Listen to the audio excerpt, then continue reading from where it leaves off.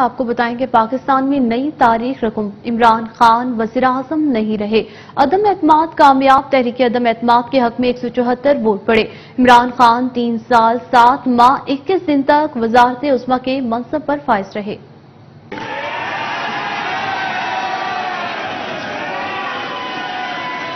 मुल्क में नई तारीख रुकूम पहली बार मुंतखब वज़ीर अजम के खिलाफ तहरीक अदम एतमाद कामयाब।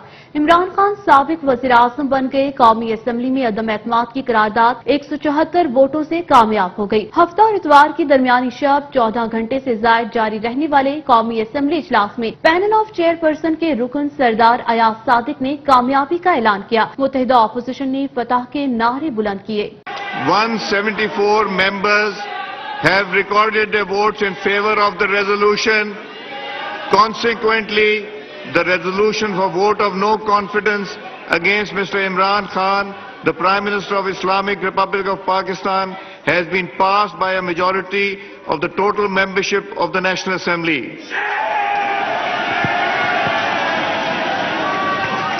वाजिया रहे कि पाकिस्तान तहरीक इंसाफ 25 जुलाई 2018 के आम इंतबात के नतीजे में बरसर इकतदार आई और इमरान खान ने 18 अगस्त 2018 को वजारत उस्मा का हल्फ उठाया। पाकिस्तान तहरीक इंसाफ की इतिहादी जमातों में M Q M Pakistan, Muslim League cup, Awami Muslim League G D A B A P और बाज दीगर आज़ाद अरकान भी शामिल थे। इमरान खान तीन साल सात माह इक्कीस दिन तक वजारत उस्मा के मनसब पर फायज रहे। इमरान खान पार्लिमानी तारीख के पहले वज़ीर आज़म है, जिन्हें बाकायदा आईनी तरीकेकार के तहत अदम एतमाद की करारदाद के ज़रिए अपने अहदे से हटाया गया। इससे कबल उन्नीस में बेनजीर भुट्टो के खिलाफ तहरीकी अदम एतमाद लाई गई, जो नाकाम रही। इसके बाद 2006 में सबक वज़ीर आज़म शोकत अज़ीज़ के खिलाफ भी ऑपोजिशन की तहरीकी अदम एतमाद नाकाम रही।